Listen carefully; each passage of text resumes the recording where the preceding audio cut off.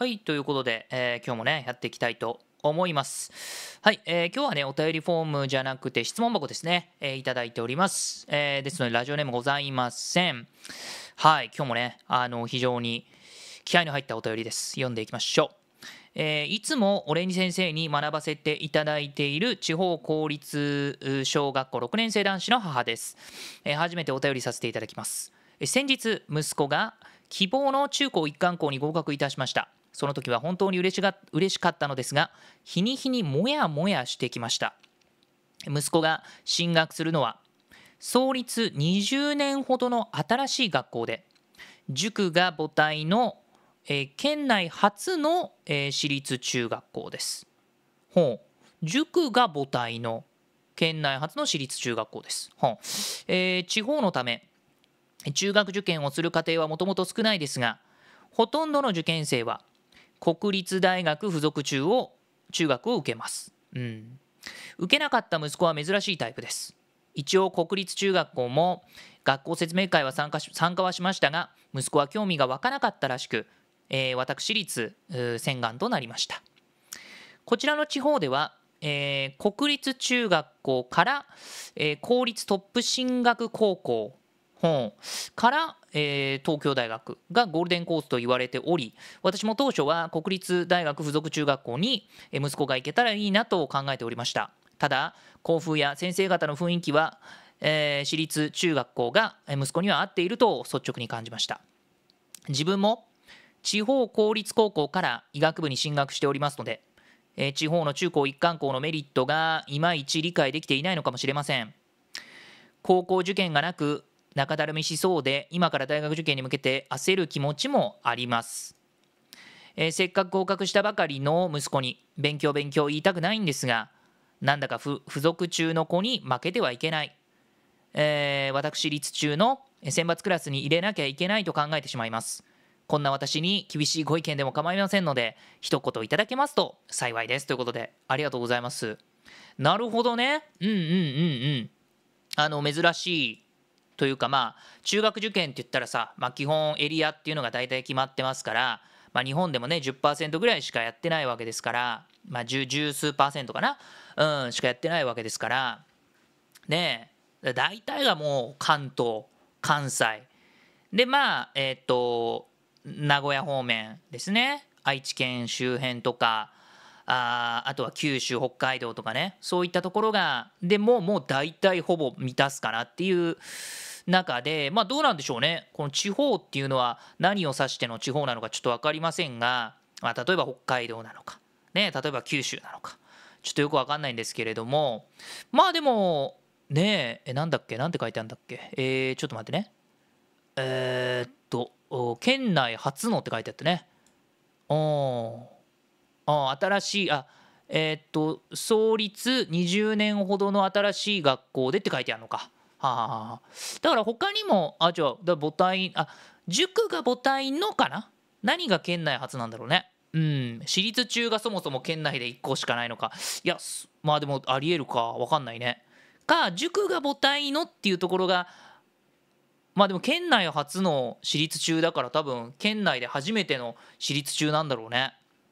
ああなるほどね。じゃあもう相当相当中学受験っていうのはあの少数派なんだろうね。うん。ねもともと少ないって書いてあるね。でまあ少ない中でもする人はいると。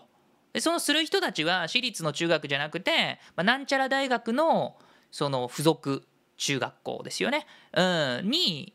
まあ、挑んででそのままエスカレーターで上がるんではなくではなくってことだよねこれね。国立中だから受験って言ってもあっちのあの要するにそのいわゆる一般入試じゃなくてあの適正検査の方なのかな、まあ、ちょっとあの僕は関西と関東の常識しかあんまりないんですがえっとだから国立中学校に行ってほんでエスカレーターで上がるわけではなくで高校受験をしてトップ進学高校に行ってでまたそこで頑張ってまあ東大含めそういう、えー国立大に進むっていうのがまあいわゆるなんていうか学歴、えー取っていこうぜコースみたいな感じなのかな。うんなるほどなるほど。まあ、こうやってねあの詳しくね書いてくださるとあの事情がよく分かってありがたいですね。本当に。はい。でえっとなんだっけ。うん。でまあ親御さん自身もまあそれがいいかなって思ってたんだけどまあただその息子ああなるほどね。息子自身も息子自身もなんなんかあんま興味湧かないなと。うん。それだったらまあそのね県県内初の私立の方が私立の方がいいかなって息子自身も思ったしであと親御さん自身も息子との相性を考えた時に、まあ、そのシックスセンスっていうか第六感的にまああの私立の方が合ってんちゃうんかっていうことを感じたわけだよね。あなるほどなるほど。なるほどね。まあ、このちょっと気になるのはえー、っとねこの塾が母体のっていうところかな。うん、塾が母体のっていうところがまあちょっと気になるよね。だからまあ分かんないけどその塾がさだからその塾のノウハウ的なものがちょっと流れるんであればまあ大学受験に向けたその中高一貫のカリキュラムを組んでんじゃないのかなと思いますけどねであとまあ創立20年まあ確かにね学校って結構歴史長いイメージあるけどまあ20年もやってればまあなんか別にその何て言うの？新しい学校だなっていう感じでもないかな。まあ、もちろん比較すればねもっと100年とかっていう学校あるからね、うん、浅いような気がするけど、まあ、でも20年やってるってことは少なくとも中高一貫のその 6, 年間でワンサイクルがあるわけじゃん。それ入試やって6年後に結果が出るっていう。でそれを少なくとも14回は結果出してるわけでしょ要するに最初のさ創立56年はその中1から入った子がさ大学受験やんないからあれだけど6年目ぐらいからさ要は中1から入った子が大学受験をするっていうサイクルが始まるわけじゃん。その何て言うかな6年間その学校にいる子たちっていうのが生まれていくわけじゃん創立7年目ぐらいから。でそう考えるとまあ13回か14回ぐらいはそのあのー、繰り返しをやってるからまあ何て言うのどういう育て方どういうカリキュラムをしたらこういう結果になるよねみたいなことは、まあ、ある程度回してると思うんでまあそれなりの何て言うのかな。うん。あの試行錯誤はあのしてきてるんじゃないかなっていう年数なんで別になんかその新進気鋭のっていう感じではないかな。まあだから別にうんなんか新しい学校だから不安だなみたいなことはあんまり感じないですかね。はい。っていうこととなんだっけ。えー、っとなるほどね。まあ、だからその地域的に言うとだからなんかあれだよね。そのだからさ大変だよね。その大学附属にさ行く人たちめっちゃ大変じゃない？だってさいやもうだって関東と関西とかのさ、まあ、関東と関西だけじゃないかもしんないけど中学受験のその一般的な発想としてもう中高一貫なのよ。基本。だからその何て言うの？あのー、中学受験やったら高校受験はしなくていいよねみたいな。そういう考え方。だそこにメリットを見いだしたりするわけね多くの場合は。だからそのあだから中中学中学受験まあ死ぬほど頑張ったから高校受験はまあやんなくていいよねっていうパスできるよね。だから例えば、えー、中3まあ、例えばだけど中学校の部活とかも中3までできるよねとか高校受験があったらさ例えば中2でやめて中3の1年間は高校受験頑張らないといけないよねっていうのが、まあ、あったりするわけよ。うん、だけど、えっと、中高一貫だったら中学3年間あの部活動に打ち込めるから例えば結果とかも出やすい。あの比較的その県大会県県大会とか突破しやすいとかね、まあ、そうそういうなんかじそうなんてちょっと細かい話もあったりするんだけど、まあ、つまりところ高校受験パスできるから、まあ、そんだけあのー、なんだろうなまあ、時間が他に使えるよねっていうことなんですよね。まあ、部活に使ってもいいし青春に使ってもいいし大学受験への勉強に使ってもいいしっていうようなことなんですよね。そうだからあのー、なんでしょうねなんかなのにっていうのがまあ僕の中での基本っていうかまあ全国的に日本の全国的に中学受験のまあイメージするところなんだけどここのこのね送ってくださった地方ではめっちゃ大変だよねそのスタンダードが。だってさ中学受験もやってほんでまた高校受験もめっちゃ頑張んなきゃいけないでしょ？ほんで大学受験もめっちゃ頑張るわけでしょ？めっちゃ大変だねっていうのがまあ率直に思ったことかな。まあでもどうなんだろうねその競争率とかはそこまで高くないのかもしんないけどね、うん、まあでもどうなんだろうね。そのそもそもトップ校が1個しかないからちょっとよく分かんないんですけどもまあでも大変だよね。でえっと中高一貫校のメリットっていうのが理解できてないかもしれないって書いてあるから、まあ、そこに関して申し上げておくと、えっと、中高一貫校のメリットとしてはやっぱりあの高校受験をパスできるからこそ6年間かけてえっとまあだからその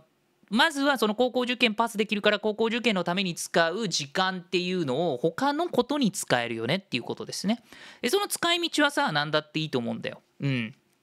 だから例えば、まあ、さっき言ったように部活動に使ってもいいし、えー、その他青春に使ってもいいし、えー、大学受験のための勉強に使ってもいいと思うんだよね。うん、だからまあまずその時間が浮くっていうことだね。だここはまあもうトレードオフっていうかさあの中学受験するんだであればやっぱり小学校高学年の時間をまああの犠牲にするっていう言い方がいいのか分かんないけどもまあ使わなきゃいけない一方で高校受験するんだったらやっぱり中学3年間っていうのをその受験勉強に使っていかなきゃいけないわけだよね。うん、だからそこはどっちどっちとんのっていうだけの話でそうだだけどだけどここの地方では大変だよね。ねだって小5小6もさ頑張んなきゃいけないし中2中3も頑張んなきゃいけないわけでしょ普通だったら。ゴールデンコース目指そうと思ったら大変だよね。あだそういう意味ではね高校受験パスできるからさその中学3年間はさなんか自由にできるからいいんじゃない？なんかすごくメリットに感じるけどな。うん。であとえっとまあ、それそれがまず1個でしょ？時間が浮くっていうことですね。で、えっと、もう一つのメリットとしてはもう一つのメリットはえー、と今回はねその中高一貫校のメリットっていうよりかはこの質問者さんの地域でのここの地域でのゴールデンコース VS、えっと、私立中高一貫校からの大学進学の比較でのメリットを語りますね。で,、えっとで2つ目はえっとね、えっとカリキュラムだねおそらくだけど、えっと、だからこれもまあ1個目に関わるけど高校受験をしなくていいから高校受験のためのカリキュラムを組む必要がないっていうことなんですね。であのそれがね顕著に出るのはうんとまあ数学が一番でかいんじゃないかな。うん、数学が一番でかいと思いますね。うん、やっぱりあの高校受験の数学高校受験数学っていうのは、まあ、いわゆる中学数学が範囲になるわけじゃん。だから、えっと、中学数学を3年間でまあやる必要があるよね。逆に高校数学の先取りなんてする意味があんまないわけよ。だって高校受験に出ないから。でこれ算数で例えるならばさね？その中学受験やりますって言ってさ頑張ってサピックスとかさなんか四谷大塚とかさ日農家に通ってこう算数の勉強するわけじゃん。なのになんか小学校6年生とかになってさよっしゃじゃあ中学数学も先取り頑張ろうとかってさ中学中中1数学とか中2数学やったってさあんまりなんていうかまあメリットゼロとは言わないけどあんまりやんないよね。基本やっぱその小学算数の範囲で深めていくっていうことをやるわけじゃん。最後の最後までね。小6の最後まで。それと同じように高校受験するっていうことは中学数学の深め方をしていくわけじゃん。でもそれをしなくていいってわけでしょ？高校受験がないってことは。だからカリキュラムとしてあの数学のカリキュラム結構違うんですよね。うん。だから、えっと、高校受験する場合はもう本当に中1数学中2数学中3数学やってでその何て言うのかな？あのそれを深めていくっていうことをやっていくと思うんだけど中高一貫の場合は高校数あの高校受験がないから中学数学っていうのをできるだけ早めに終わらせてで、まあ、いわゆる高校数学ですね。数 1A 数 2B ですね。をできるだけ早く取り組んでいきましょうっていうカリキュラムを組んでる場合がほとんどです。ほとんどだと思います。僕が知ってるところはほとんどそうです。だ多くの場合ではもう中2終わる頃には大体もう中学数学っていうのは終わってるし何だったらその高校数学にこの連携できるように、うん、連携できるように、まあ、ちょっとこの数 1A 数 2B の要素も入ってるみたいなだちょっとね数学のカリキュラムが多分大きく違うんですよね。うん、だから多分だけど高校受験の数学だとあんまりその証明問題とかじゃなければ記述とかもいらないと思うけど多分、あの中高一貫の数学だと記述も、まあ、そこそこあの書けるようにっていうのはあるはずだからそもそももう中高一貫のカリキュラムっていうのは高校受験がないから大学受験を見据えたカリキュラムを組んであるはずなのよ。だから6年間で大学受験を目指していこうよっていう。だからまあ嫌な言い方っていうかまあうん、あえてそう言うとすれば高校受験のための勉強をしなくていいってこと。高校受験のための勉強